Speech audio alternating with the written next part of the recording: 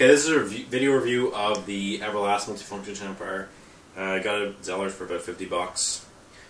And the reason why I got it is because I like doing chin ups and I didn't have a, a chin up bar. The one I previously had I didn't bring with me because I moved.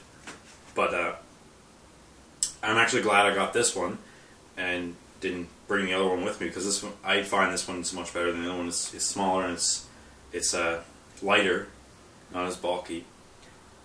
It also has more grips. The other one I had, it was just it would it was just this bar here going across like that, so it didn't have this extra bar here. You can like grip there, grip there.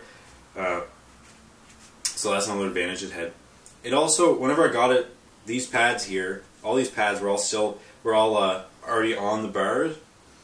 The pre my previous chin up bar, I had to put the pads on myself, and you can imagine how how much more difficult that would be.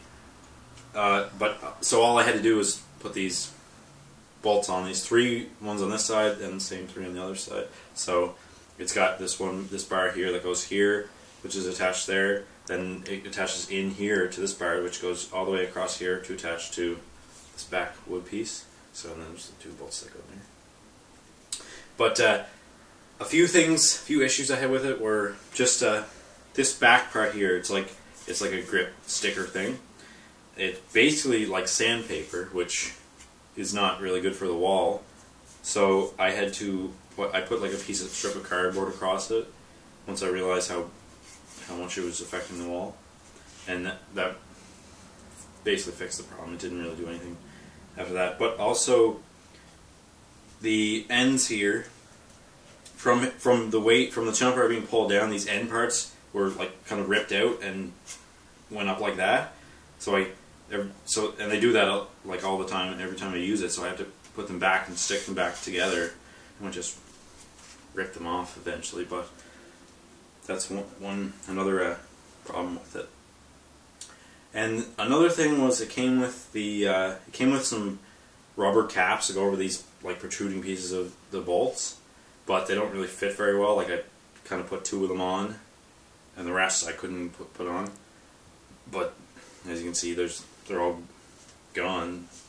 There's not there's none on them anymore.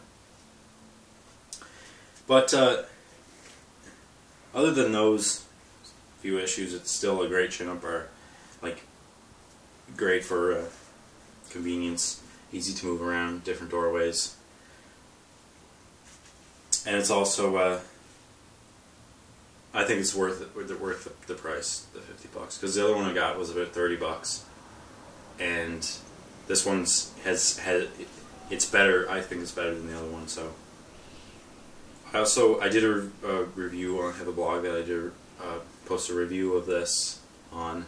I'll put a link in the description box for that if you want to go check that out. And there's there's some more reviews on the blog if you want to look at those too. So thanks for watching.